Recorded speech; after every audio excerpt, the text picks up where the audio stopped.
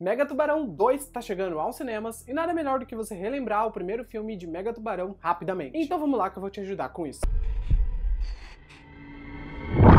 Pra quem não sabe, Mega Tubarão é baseado num livro de mesmo nome. Sim, pouca gente sabe disso. Você sabia? Coloca nos comentários me falando. O filme foi lançado em 2018 e conta a história de um enorme tubarão pré-histórico chamado Megalodon. Ele ressurge das profundezas do oceano e ameaça a vida de pessoas que estão ali numa estação de pesquisa submarina. E o nosso herói do filme é interpretado pelo Jason Statham. Ele vive o Jonas, um cara que vai até essa estação para salvar as pessoas, porque Jason Statham é o cara que sempre salva as pessoas. É o arquétipo desse ator. Todo personagem dele é o mesmo personagem e eu adoro isso. Quem não gosta desse cara? Esse cara é foda. E esse nosso protagonista incrível vai fazer de tudo para parar esse megalodon. E quando eu digo de tudo, é de tudo mesmo. Óbvio, acontece uma burrice aqui no filme, acontece outra burrice aqui no filme. Sempre tem burrice acontecendo, porque os personagens parecem que não pensam. Mas eu acho que é o jeitinho deles, né? Até porque senão algumas situações nem ocorreriam se os personagens pensassem um pouco.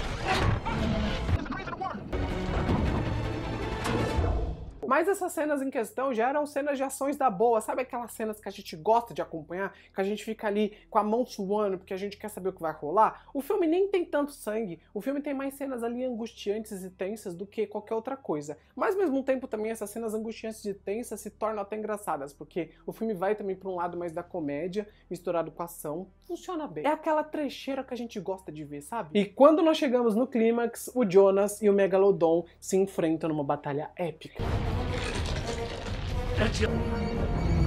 Esse confronto ocorre depois daquela cena da praia, onde o Megalodon chega e tá todo mundo ali na praia se divertindo. É, tem até o cachorrinho daquele pessoal do iate, o Pimpim que tá ali. O Tadinho tá ali se divertindo na água, a gente acha que ele vai de arrasta pra cima, o Pimpim some, cadê ele? O povo na praia tudo sendo devorado e eu só pensando, Pimpim, estou rezando por você, Pimpim. Onde estás, Pimpim? Mas a cena inteira da praia é muito boa. Na verdade, o filme tem várias sequências interessantes. Eu gosto daquela cena de resgate, onde um dos personagens se sacrifica para que os outros consigam ir embora. Curto também bastante aquela cena que eles têm uma falsa sensação de que ganharam ali a batalha. Matam ali um dos megas e colocam ali no barco, todo mundo comemora. Uhul, tá tudo legal aqui, estamos sobrevivendo novamente. E do nada, o Megalodon aparece e dá uma bocanhada assim em cima do barco, vira o barco barco, todo mundo cai no mar, ele engole uma das pessoas. Gente, que cena. É tipo assim, aquela cena que eu assisti no cinema quando o filme lançou e eu fiquei, ah, que da hora.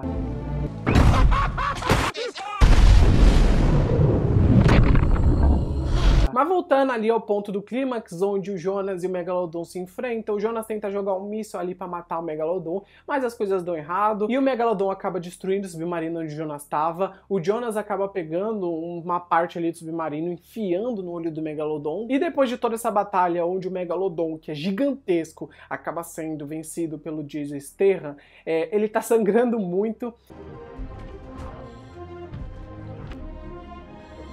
e outros tubarões que estão em volta começam a entrar dentro dele pelo ferimento e um até sai dentro da boca dele. E o filme acaba com essa vibe otimista onde o Megalodon foi derrotado, todos os humanos saíram felizes da vida porque derrotaram esse bichão. Mas o melhor de tudo nesse final, gente, o melhor de tudo é ver o Pimpim vivo, gente.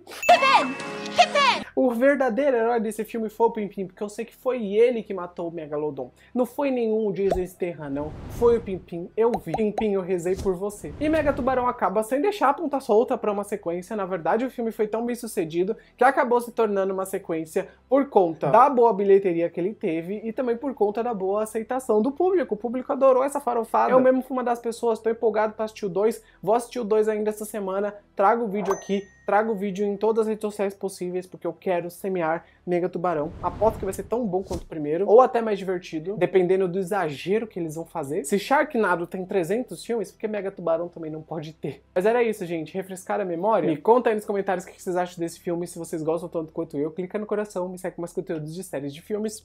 Beijo, tchau.